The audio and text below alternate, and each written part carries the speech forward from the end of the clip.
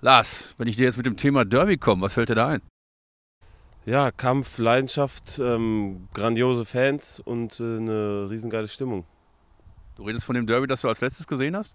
Nein, das letzte Derby war natürlich ähm, das Derby gestern von meiner Heimmannschaft, wo mein Bruder gespielt haben, was sie nach einem 2-0-Rückstand noch äh, gedreht haben zum 3-2-Sieg. Aber von der. Was, Welche Vereine sind da beteiligt? Das war SV Uffeln und Grünbach Steinbeck. Und das Derby, was, was jetzt kommt, ist natürlich dann noch äh, in dem Sinne noch eine Nummer größer und ähm, da wird noch mehr Randale gemacht und noch mehr Stimmung ist da.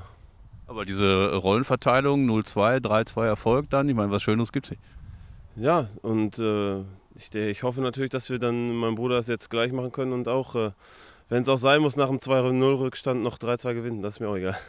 Wenn auch anderthalb Klassen höher dann und vor ein paar mehr Zuschauern, hast du schon gesagt. Ähm, ja, welche Frage soll ich dir jetzt nicht stellen? Du sagst mir alles. Die, die wer beim Derby im Tor steht, dachte ich. So. Ja, kannst ja machen, ich kann sie nicht beantworten.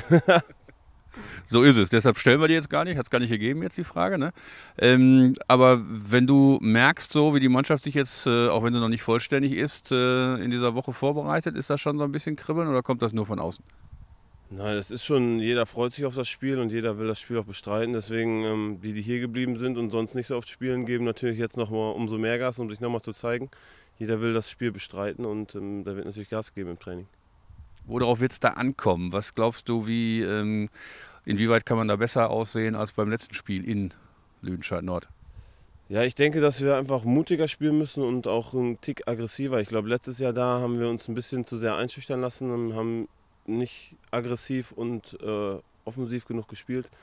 Und ähm, ich denke, was wir, wenn wir das äh, ändern und so wie, ich denke mal, die erste Halbzeit ähm, im Rückspiel spielen, ähm, dürfte das auf jeden Fall klappen. Alles in allem macht's wie Uffeln. Ja, genau. Das ist am besten.